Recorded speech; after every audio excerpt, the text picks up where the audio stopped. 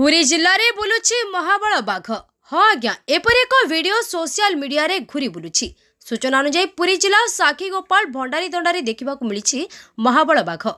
ଦିନରେ ବାଘ ବୁଲୁଥିବା ନେଇ ଖବର ପାଇ ମଧ୍ୟ କେହି ବିଶ୍ୱାସ କରିନଥିଲେ କିନ୍ତୁ ପୁଣି ସନ୍ଧ୍ୟାରେ ବାଘକୁ ଦେଖି ଭୟଭୀତ ଥିବା ସୂଚନା ମିଳିଛି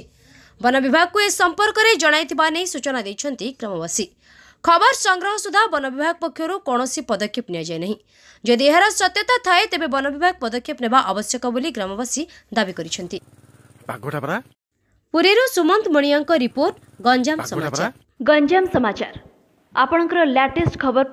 लाइक लयर सब्सक्राइब एलोजाम समाचार र फेसबुक युट्युब ट्विटर पेज को अधिक तथ्यप भिजिट गरु आम वेबसाइट डब्ल्यु डट गंजाम समाचार डॉट कॉम